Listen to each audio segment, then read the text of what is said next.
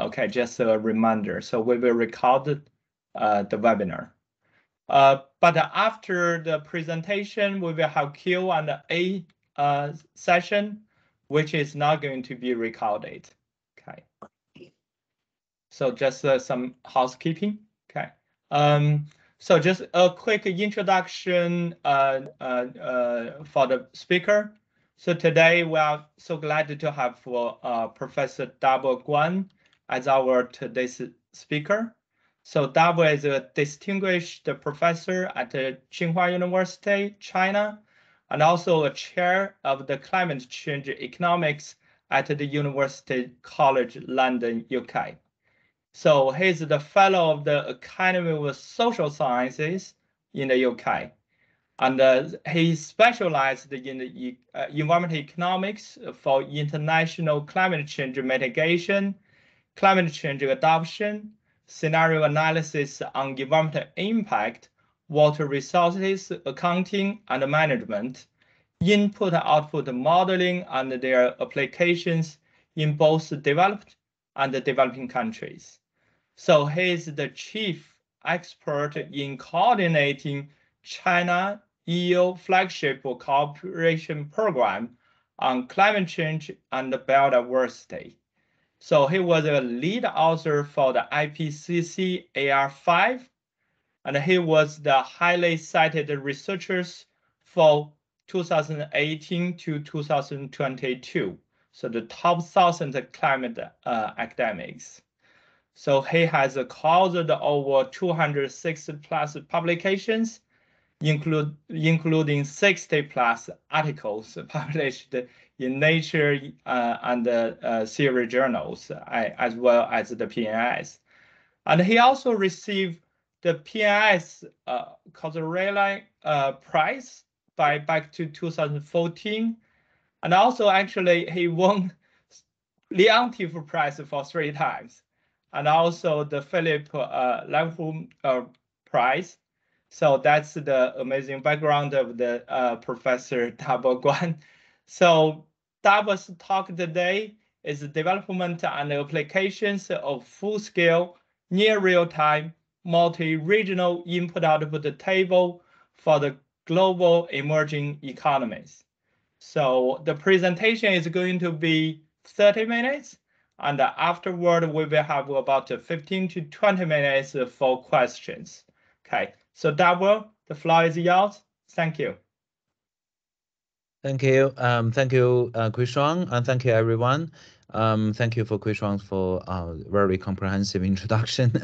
um, today, I'm gonna um, firstly introduce a little bit uh, about the um, a little bit about background on the climate change, and then going to mainly present our newly uh, developed uh, MRL model, uh, emerging model with a special focus on global South countries.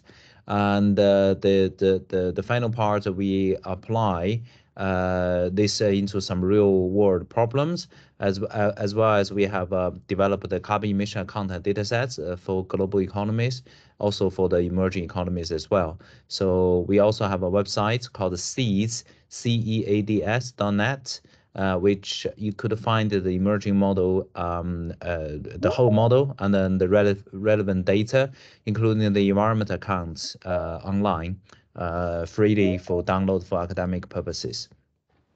So let me just uh, quickly uh, start on some background. Possibly you have all known um, this. And this is a graph from uh, IPCC AR uh, the 1.5 degree C special report. So what that says in the past 20 years, the global emission has going up very quickly. And if along the current uh, uh, or the historical emission trajectories, the emissions is gonna uh, go up very quickly and will lead to high climate risks and it will lead to the global mean temperature rising to 4 to 7 degrees C.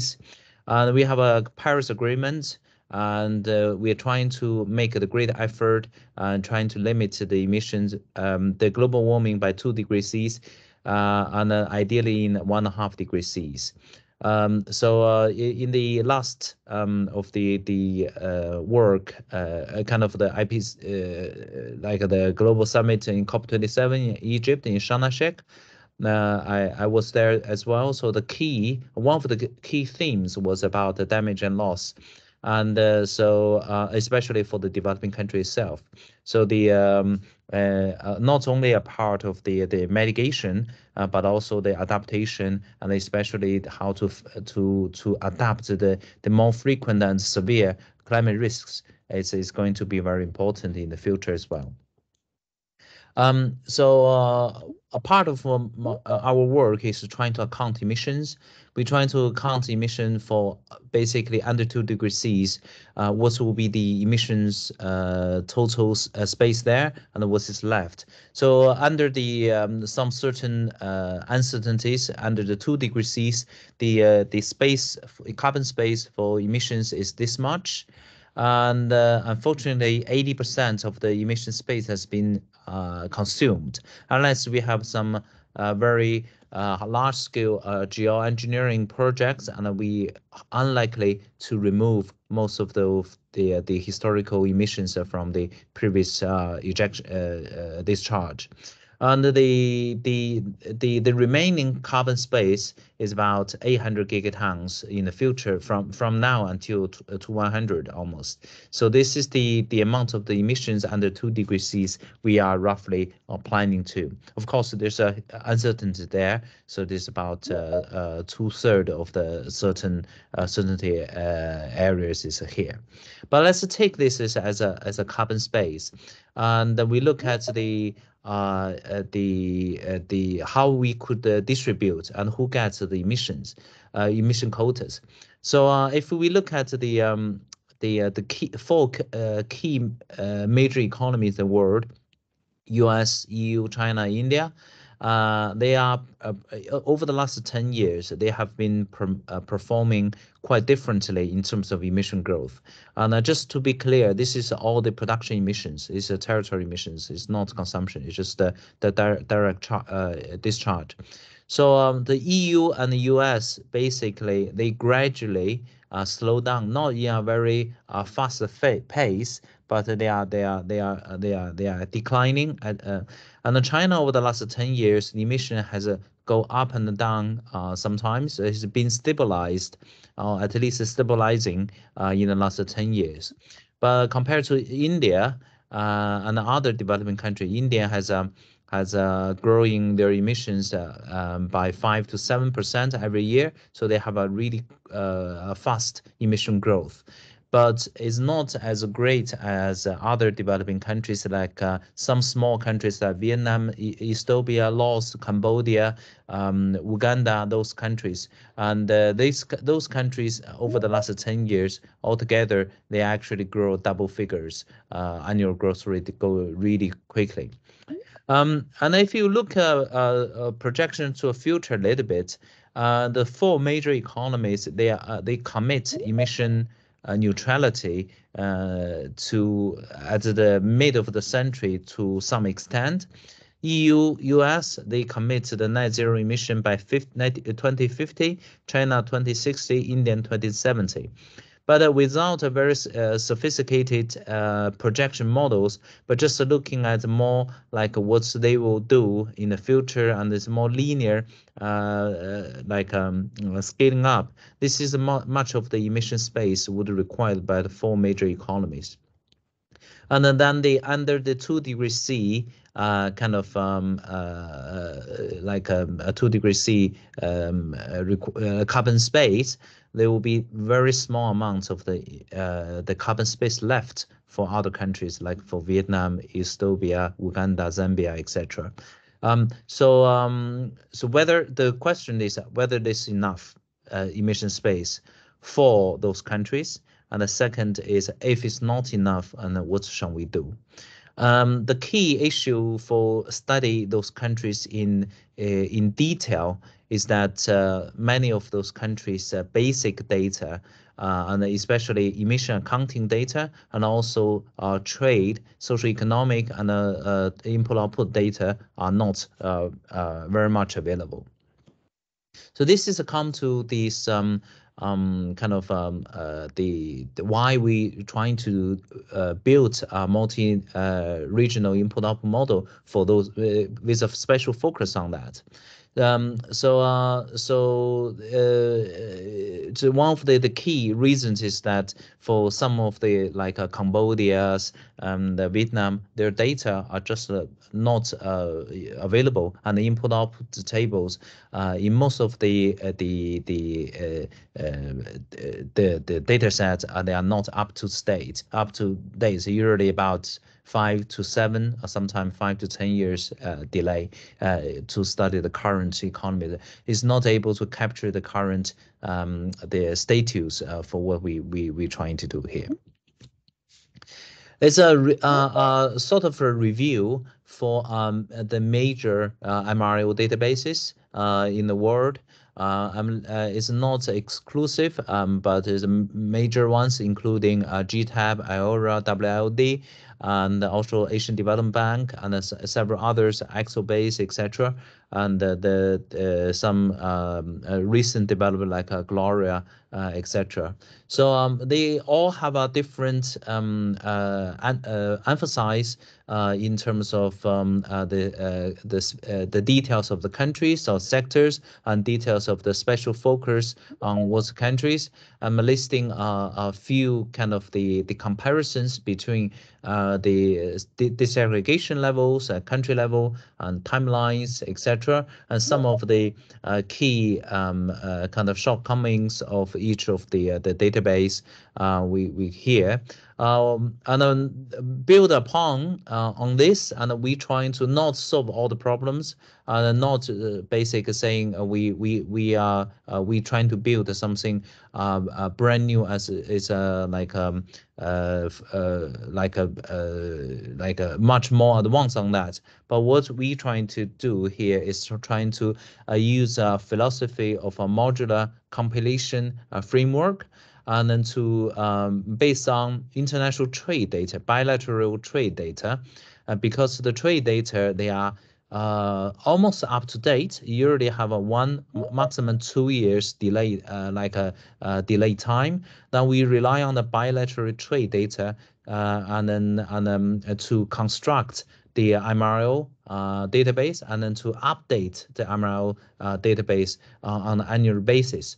Uh, this is our aim. And another thing, another uh, good things to rely on the trade data. So we should we could have a very comparatively more uh, disaggregated sectors and than the than the normal ones.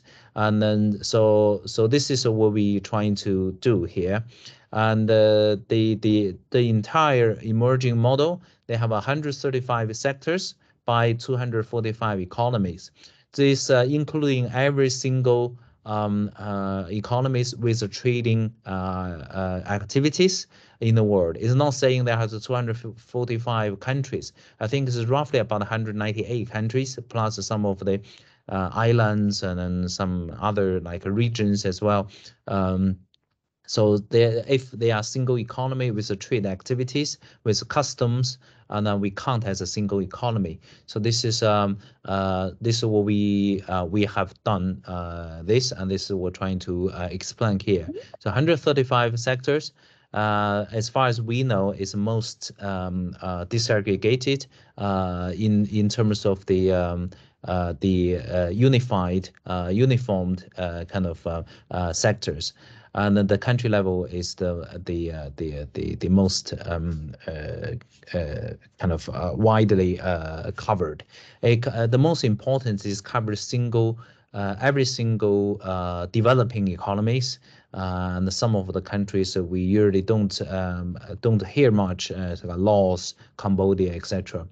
And uh, we trying to do for um, every year. And right now we uh, we done for two uh, kind of um, uh, for the year of 2010 and for the period of 2015 to 2019. we we are working on the 20 uh, 2020 to 2021 right now. So um, so this is the the the the kind of uh, the the, uh, the the format of the emerging model. And this is in more details. Uh, so what's the 400, 245 economy include? Um, you know, including um, every single uh, country, as I said, uh, 53 Asian countries, sorry about spelling, um, and 48 European countries. Most important, we pay special focus on the emerging economies uh, like Africa um, and South American countries and um, and the Oceania. Antarctic, Antarctica, we uh, we don't we include the region, but doesn't have a a a, a trade uh, like much of trade activities. So we don't really talking about this. So um, I I expect no questions about Antarct Antarctica there in the in the in the in the Q and A sessions. uh, 135 uh, sectors. Uh, including roughly about 20 something, 28, 26 of the agriculture sectors and uh, lots of um, uh, uh, manufacturing sectors. And uh, then we have a 35 uh, services sectors as well. You compared to many existing MRO databases, the services sectors are much higher, like a disaggregation level. Um, the uh, where we get the the the, the, the what's what's the main data source um, uh, to to have a MRO table is always a very complicated, a very large scale data compilation um, uh, project.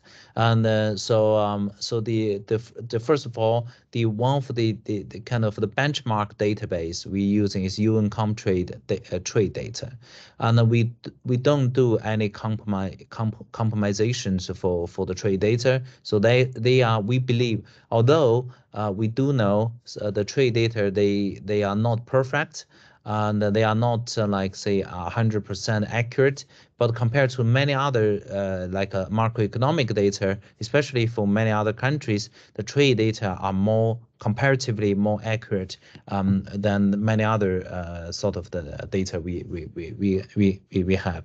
Um, so so we, we we have the trade data as a as a baseline benchmark and then we we we we uh, uh, get the construct the the MRO uh, uh, lot uh, lots of the rely on the, the the the trade data. Of course, we have a national uh, statistics.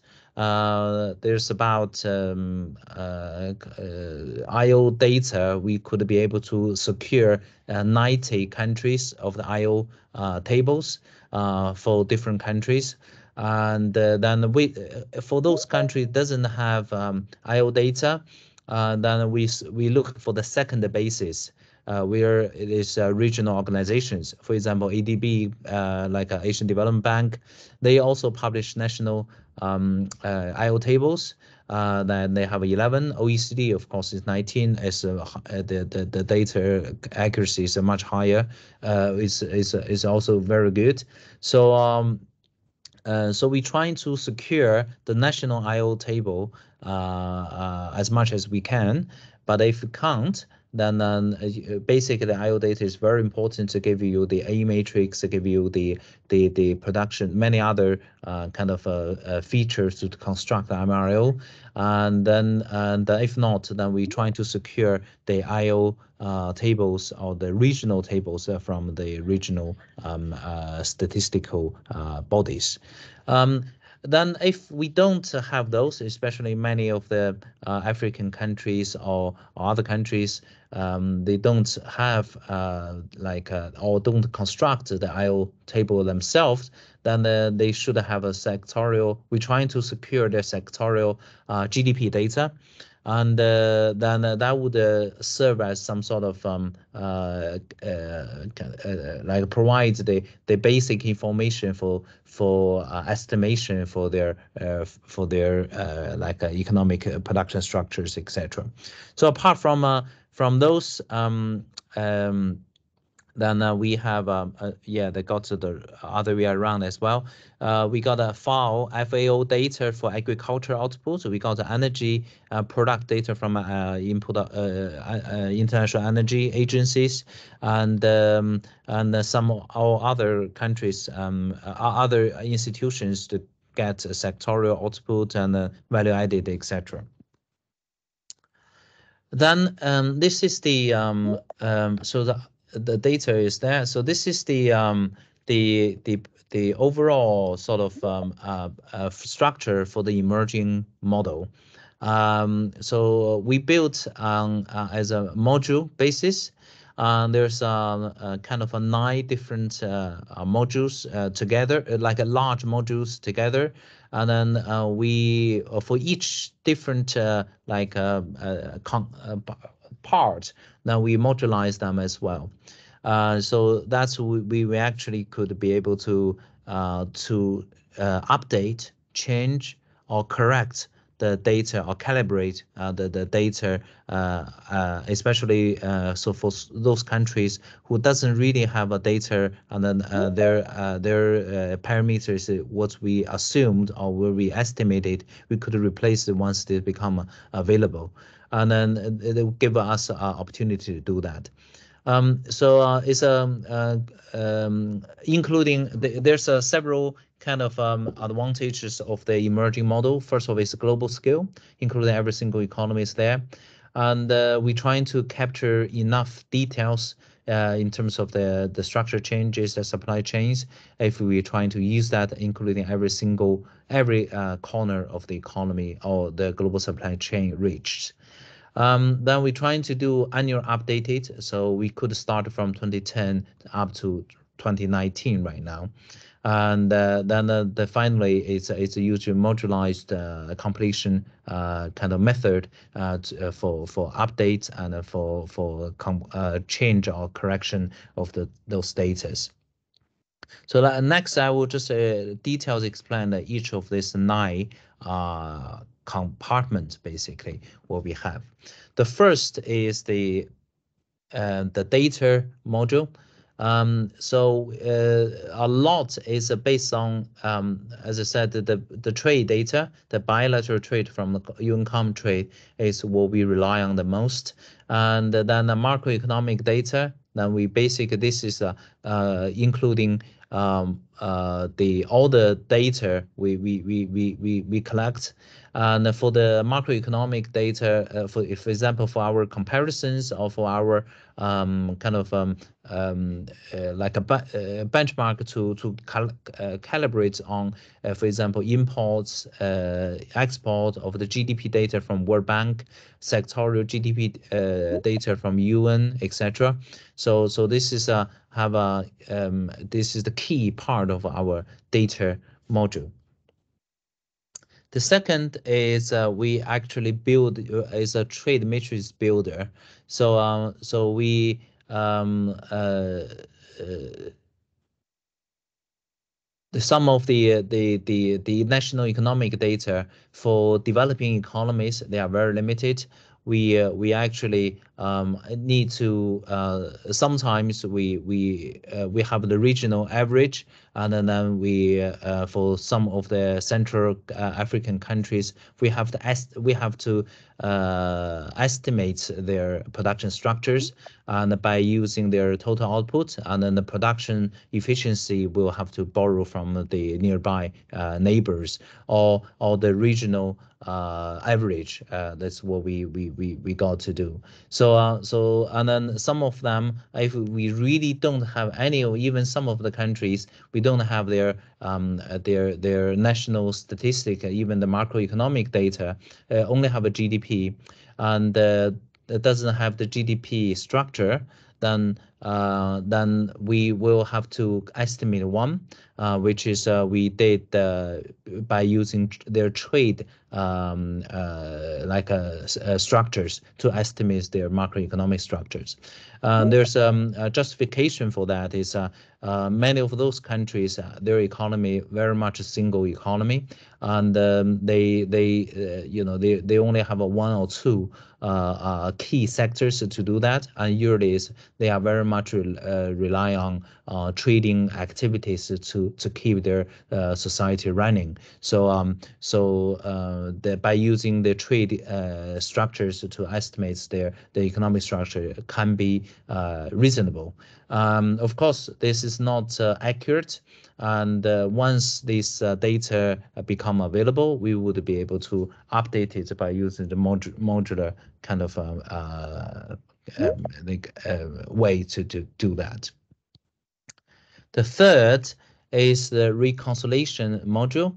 So, so basically, it's a calibration uh, procedure. So once we built the uh, the uh, every single country's uh, um, the, the key mean Z matrix, basically, this uh, 3D one. So, so 135 times 135 times, um, um, uh, sorry, 245 times 245 times 135.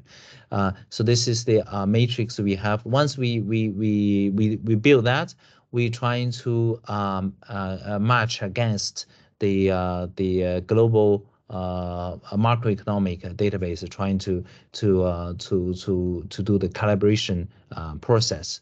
Um, and that would include uh, we're trying to uh, uh, do this GDP against the World Bank GDPs, and they're they're trading also their World Bank trading activities as well and uh, then uh, we're trying to uh, use the Af African development banks to to do the many African countries uh, uh, uh, social sectorial GDP or the value added data. And for IEAs and then FAO, etc., to find the sectorial level for each individual economies if they have. Um, the next um, uh, the uh, the uh, the module is what we call a disaggregation module.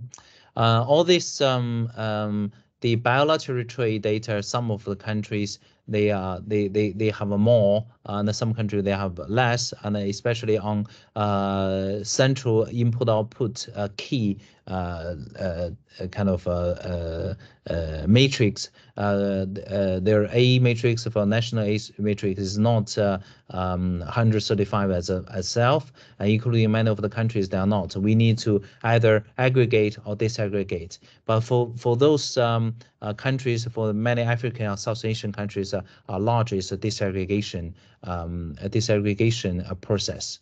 Um, so uh, so we we um, most of the African country they have about 20 30 uh, sectors uh, and the South as similarly and we have to aggregate them disaggregate them 135 so that's give us uh, quite a bit challenging uh, to do that. Again uh, who those economy doesn't have a complete IO data we use weighted average sum for the available IoT compiled corresponding um, to to get this um, uh, input output table, the, the matrix, and um, also we uh, uh, the uh, we also uh, uh, make use of a, lo a lot on the trade data because the trade data that can go to four digits and sometimes you can go even further to get detailed data. And then, then, then, those structures we have to split uh, sectors by using trade uh, trade data to give uh, the disaggregation level of 135 as we require down here. The final uh, bottom three is uh, transformation, the linkage.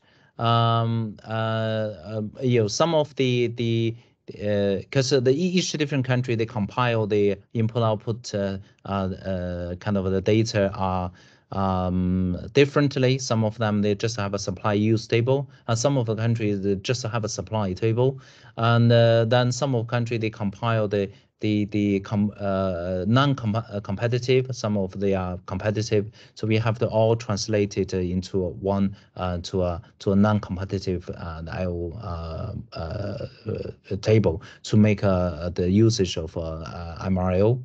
the finally um, it's uh, the the validation, uh, which we I will talk uh, quite a lot uh, later on about the comparison with other models and comparison with uh, uh, the key national statistics. So um, the um, the the the first the validation we make the emerge compared to four major global MRO uh, in the world, including Expo, EXIOBASE and OECD, Eora, and GTAP. Um, and so this is a global total, basically. So uh, if we look at the value added, uh, global uh, value added, and uh, for all the uh, well selective the sectors and with some aggregations uh, levels on because we're trying to make a comparison to among the five models there. Uh, so uh, so all the models are are not uh, entirely the same. Some country, some some models, uh, their results are, are higher in certain sectors, and some of them are in lower sectors. So overall, I think overall the global um, GDP they are all almost identical to each other, but on the sectorial level, they they are uh, different. Um, and then uh, emerging model compared to most, uh, well, this, all the four, uh, they are zero to, I mean, about uh, up to 15% of the differences compared to the four uh, different models. And then this is on the sectorial levels. And then this is uh, uh, in the, we, we actually to look at the key um, like um, uh, like a like a uh, driving sector, economic driving sectors such as constructions. If you look at the constructions between uh, emerge uh, emerging models and the GTAP and others, they are slightly different in terms of global totals. Um, the, they are between 8 to 30% differences. Is uh, especially with the EXIOBASE, is um, is quite uh, uh, quite quite large. And in terms of construction uh, uh, value added, emerging is among the smallest uh, uh, compared to the GTAP uh, or the OECD or Eora. So so it's um it's this is the the sort of a comparison between the the the global sectors. And if we look at the countries and trying to against, oh, sorry, I should, okay. Um, there's a, the, uh, um, the, the, the, the, the league table has been, so we actually uh, compare uh, the, uh, the emerging output with the World Bank uh, data uh, in terms of their GDPs and then import and export. Mostly GDP is almost identical because we're using uh, the uh, GDP as a benchmark uh, to to for each countries as well. So the import and uh, export. Uh, we are using com UN Comtrade, and I do believe uh, um, World Bank they do also use uh, sort of uh, UN Comtrade data, of course with some adjust adjustments there too. So the trading data are slightly different, but largely identical and uh, we compare the the this is the illustration of the small econ like the emerging economies. Uh, the emerging economy doesn't include China because we the first thing to construct the IO input output is to trying to stabilize the U.S., EU, China, India, the large economies. Um, but uh, uh, we didn't do much of the balance RAS balancing here because uh, once we do the RAS balancing, we tried many times. If we do RAS balancing, it's easier uh, for us to get a balance table. However, they will seriously twist uh, the small countries' um, uh, data because they are very vulnerable. Um, their economy very small loss is very small. They are like a 0 five or even 0.3% of a global economy or even less. And um, and uh, the, um, if we twist, uh, you know, using RAS, a little change in the globally will have a ser serious consequences to loss as well. So um, so for the entire completion um, process, we only uh, very limited um, uh, the uh, the the process we use RAS to to do the things, but mostly it's a, com a completion and balance uh, balancing um, as its own. And this is a illustration uh, for like Myanmar, Laos, Malaysia, Ethiopia. So those uh, those uh, uh kind of uh, newly emerging economies or newly emerging emitters, and their their their their their data, uh, how their data shows, and how their their data compared to the World Bank's almost like a real time, real real life statistics. Oh, this, uh, I think this country, let me skip this, is quite difficult to explain. um, also, um, we compare the um, the uh, while using selective of the, the, the countries to make a comparisons uh, um, uh, between different uh, input-output models. And this is um, uh, the on the on the left-hand side is a production uh, domestic production structures. On the right-hand side is consumption-based uh, value added. Um, so or, final uh, final uh, demand. Um, so um, so trying to look at this and then this give you the comparison by sec sectors. So all the different uh, colors are the sectors uh, in this um, in different um, in the four uh, different models.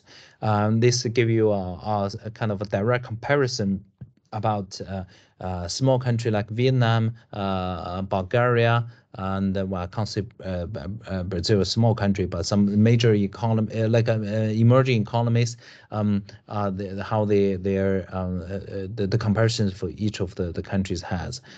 certainly, there's many countries like Togo, Congo, some of the countries emerging model does have, but um, many of most of the other other modules, other the MRIO model doesn't contains. So this is just the the uh, the comparison uh, by by sectorials, the countries uh, um, uh, behave slightly different uh, among this, uh, but uh, this is the um, the this is the the right reality of different uh, MRIO models. So I'll say the uncertainties among the all input-output models.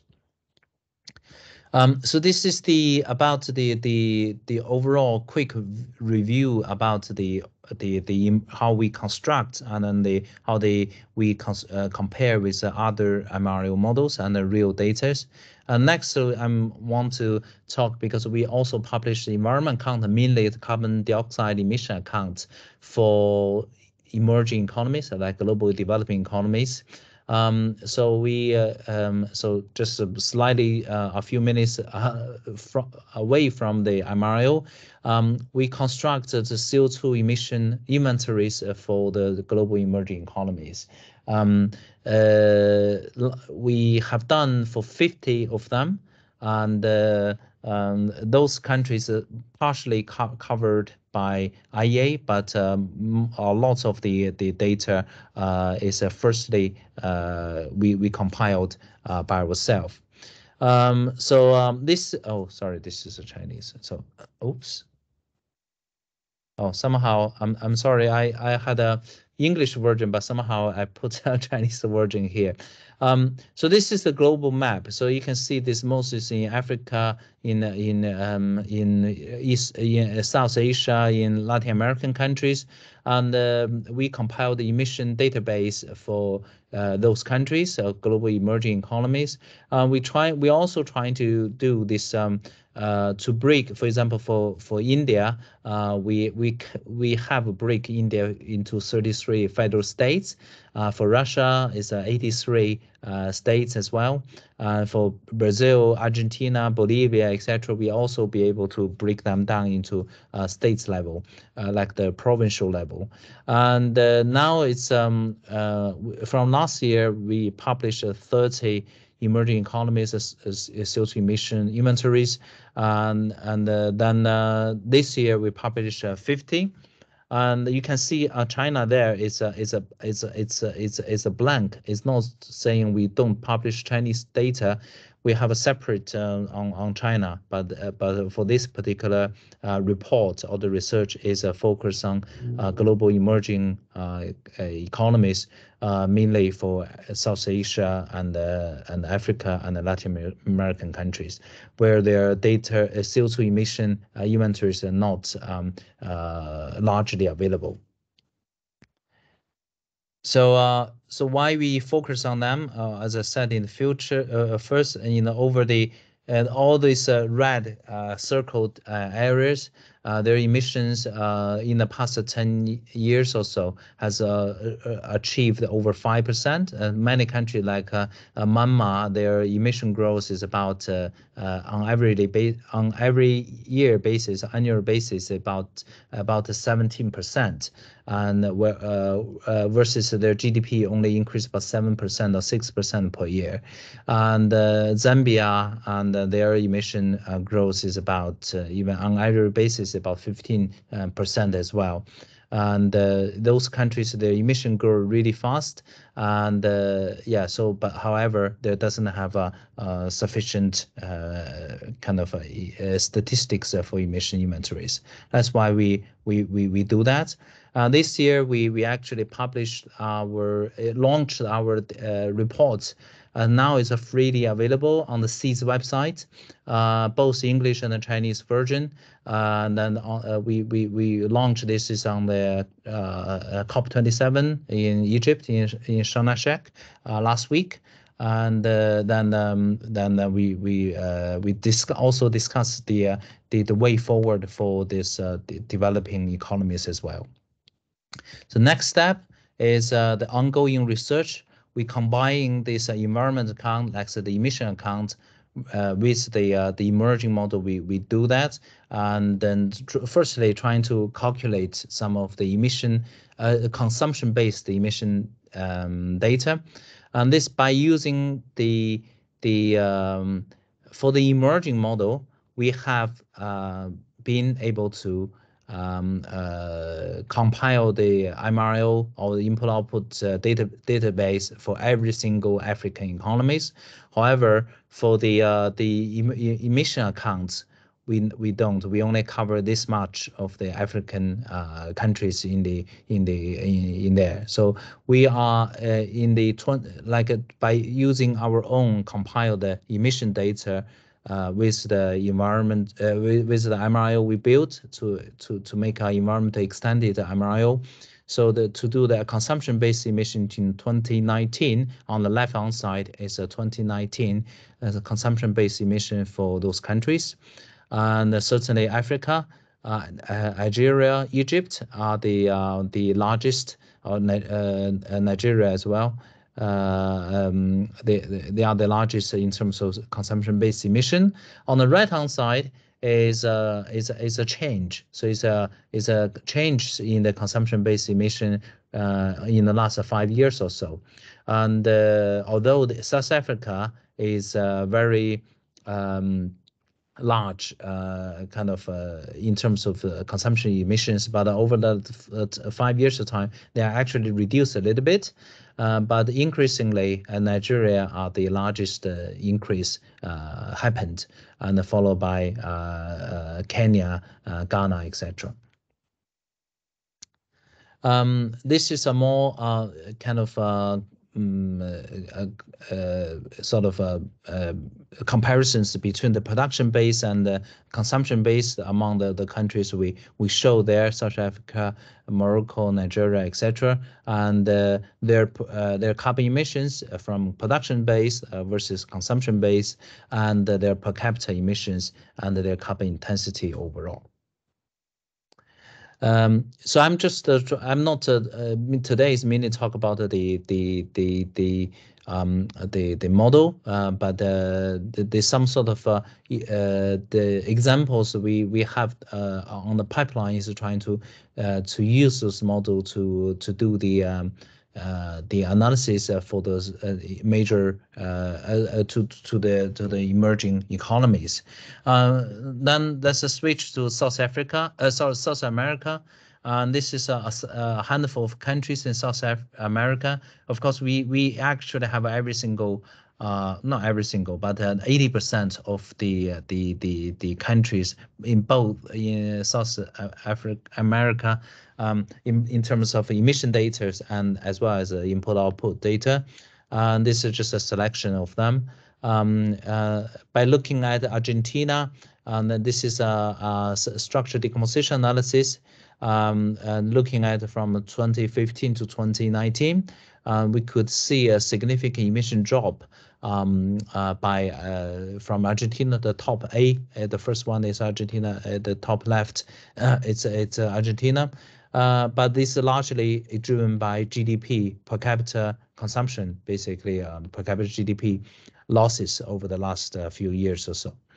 Um, in, similarly, um, the um, uh, Brazil, uh, they have an increase. They from 2015 to 2019, overall emissions going down, but it has a really going down uh, in the 20s uh, from the first two years and going up back a little bit and in 2019.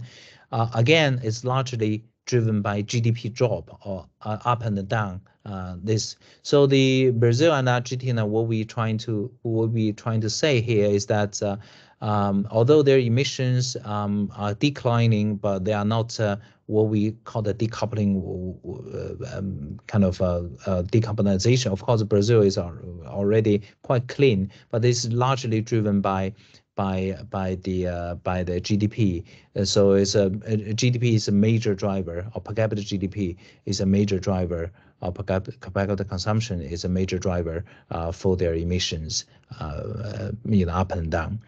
And if you look at the uh, the, the, the top uh, right, the two figures there, uh, and the uh, the uh, Chile and then Bolivia, uh, their emissions are very much driven driven by their economic the energy structures. So what's sort of the fuel they they are using? Um, this is what they they do. So there's are the major drivers on here.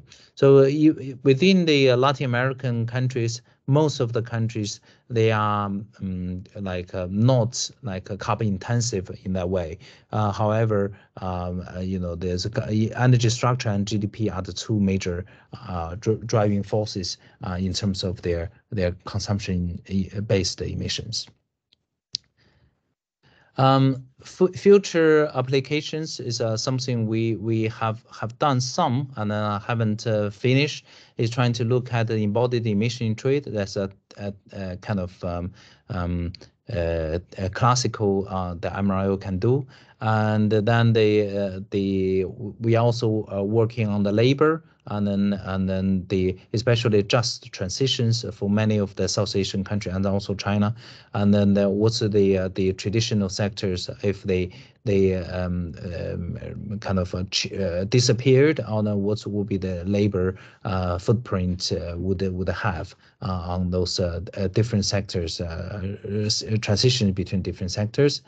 And one of the uh, the studies is undergoing is look at the decent livings by different world regions and by using um, the, um, the the emerging models we have. Uh, again, uh, there's other uh, applications we could uh, we could do. For example, uh, a disaster footprint analysis, where we have a, carried or, or, or, work on quite intensively over the last 10 years to look at the global heat stress or the global flooding, what will be the consequences to very vulnerable places, and majority Africa and South Asia and uh, then um, what will be the consequences on what will be the cascading effects along the uh, upstream and downstream supply chains, similarly to other emerging economy environmental issues. Um, so I think that's um, I might uh, over quite over a bit, and uh, this is my um, my talk, and uh, thank you very much. Yeah, uh, looking forward to to discussion and possibly. Thank you, Nava. Yeah that's a great presentation. You know, it's a, a very comprehensive database. Um, so now we get to the Q&A session. Okay, so this session is not going to be recorded.